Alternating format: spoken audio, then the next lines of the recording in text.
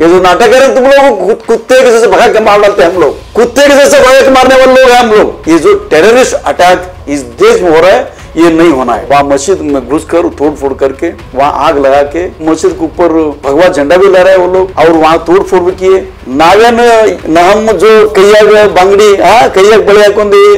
हाँ ये तुम लोगों के तमाश तमाश देखने के लिए नहीं बैठे हम लोग। राड लेकर आए तुम लोग। और लाठी लेकर आए तुम लोग। किसको मारने के लेकर आए थे? ऐसे हमें कमज़ोर मत समझो, कमज़ोर मत समझो। हम कमज़ोर नहीं है। हम देश का रक्षा करने वाले लोग है। ये महाराष्ट्र इलेक्शन में ऐसा सबक सिखाना है हम इन लोगों को, ज़िंदगी भर याद रखना। This video presented by Manor multi speciality hospital highly qualified and well experience doctors team for emergency and trauma care twenty four into seven eight Bali hill circle ring road Gulbarga सबको जय भीम, जय टिप्पू सुल्तान, नमो बुद्धाय।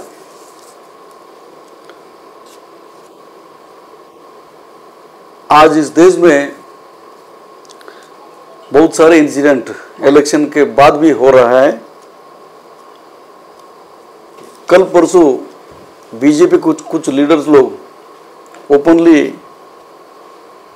धमकी दे रहे थे कि सबके साथ सबके विकास। ये ऐसा नहीं बोलना। हमारे साथ जो देता, उनके साथ हम देंगे। दूसरों के पास कुछ भी नहीं है। कोई भी हो। ये ओपनली बीजेपी का, यूपी का जो लीडर है, उन लोगों के, जो डायरेक्टली प्राइम मिनिस्टर जो लिंक है, अमित शाह जी के साथ जो लिंक है, उन लोगों ने ओपनली गुंडागर्दी, गुंडो, गुंडे जैसे बात कर रहे थे, वो वायरल भी हो रहे है।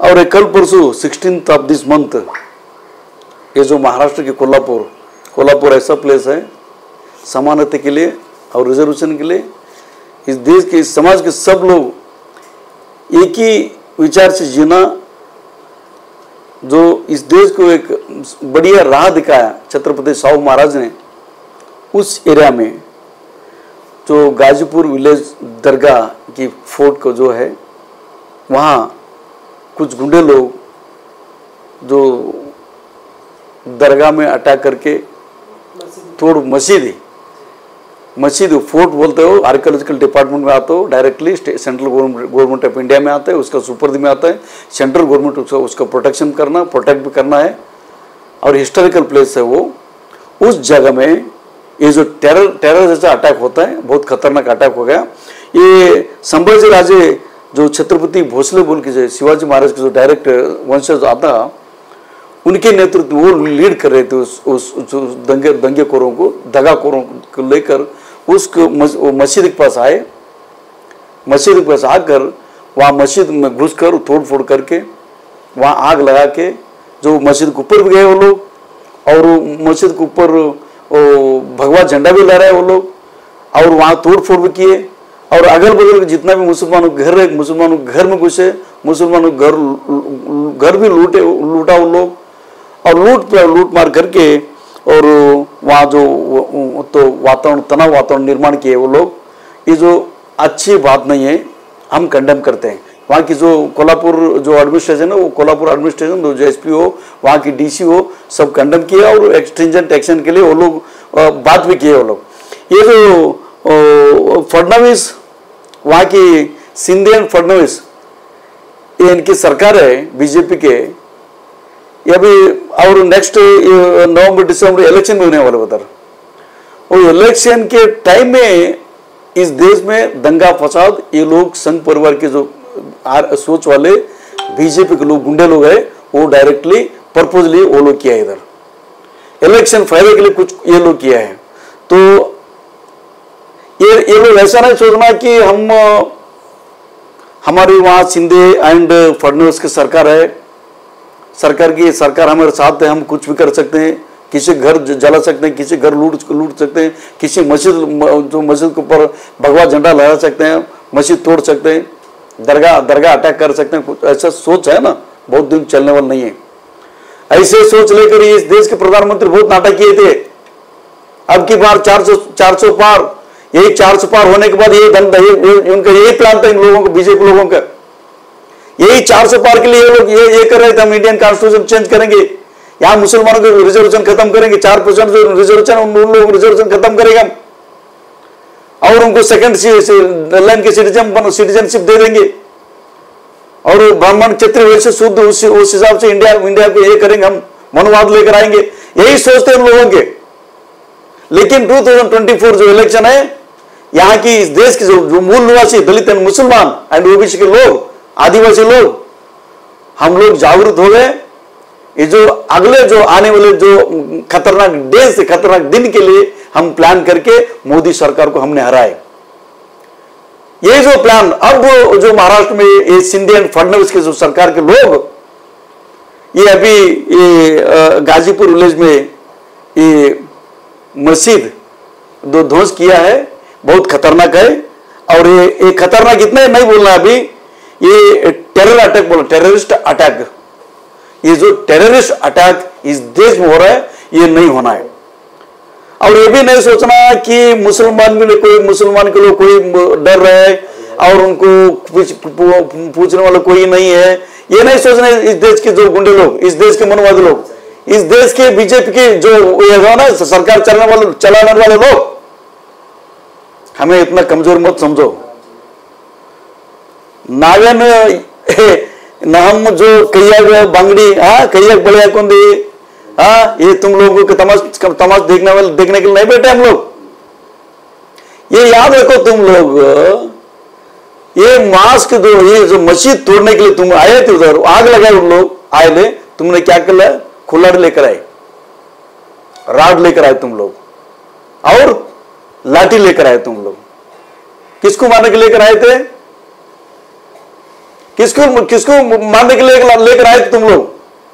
ऐसा हमें कमज़ोर मत समझो, कमज़ोर मत समझो, हम कमज़ोर नहीं है। हम देश का रक्षा करने वाले लोग हैं। हमारे देश में तोड़फोड़ नहीं होना है। हमारे देश के लैंड ऑर्डर को डैमेज नहीं होना है। हमारे देश इंडियन कॉन्स्टिट्यूशन रक्षा करने वाले लोग हम है। इंडियन कॉन्स्टिट्यूशन जो रूल्स एंड रेगुलेशन वायलेशन नहीं होना है। इस देश के सभी लोग हमारे साथ हम भाई बंधु बनकर रहना है बोल के हम चुप हो रहे नहीं तो कब का?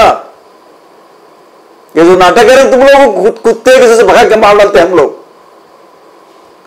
कुत्ते के जैसे भगा के मारने वाले लोग हैं हम लोग। ऐसे इतना कमज़ोर मत समझिए हमें।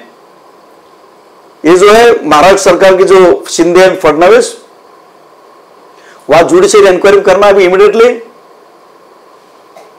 और जो भी गुंडे लोग हैं ये जो संभाजी राजे हाँ संभाजी राजे, ये छत्रपति भोसले, शेर शिवाजी महाराज के जो वंशज थे, और वहाँ बोलते कि हाँ जय भवानी, जय शिवाजी, जय श्री राम ये जय भगवान ऐसे बोले थे किसी घर किसी घर लूटने के लिए बोले थे वो।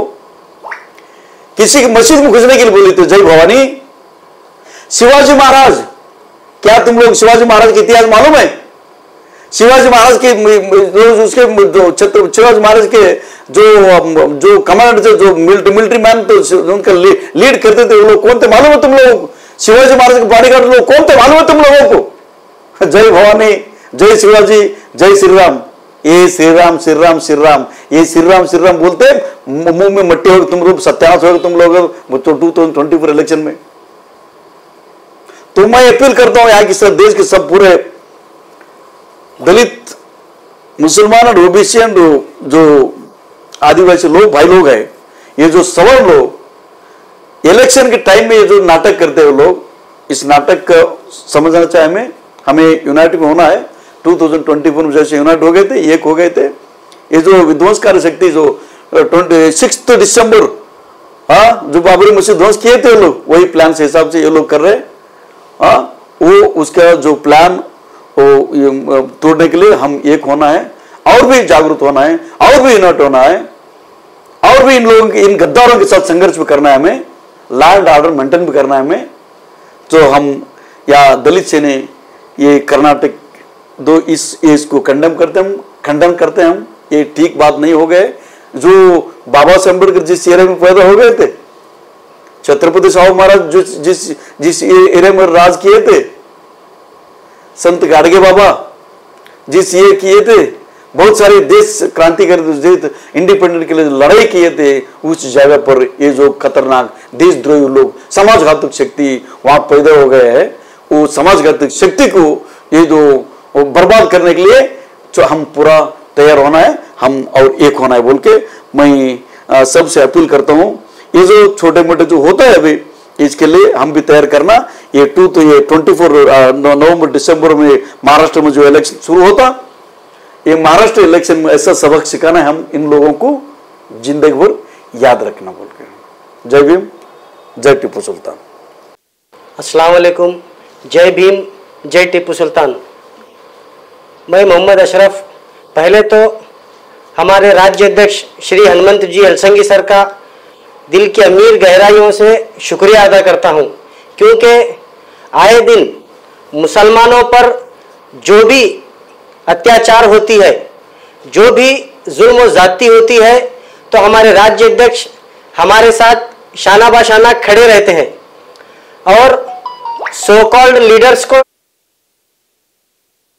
क्योंकि जिस तरीके से कोल्हापुर में एक मस्जिद में घुसकर तोड़ फोड़ कर कर जलाया गया और खुरान मस्जिद को जलाया गया और खुरान मस्जिद की बेहुरमती की गई।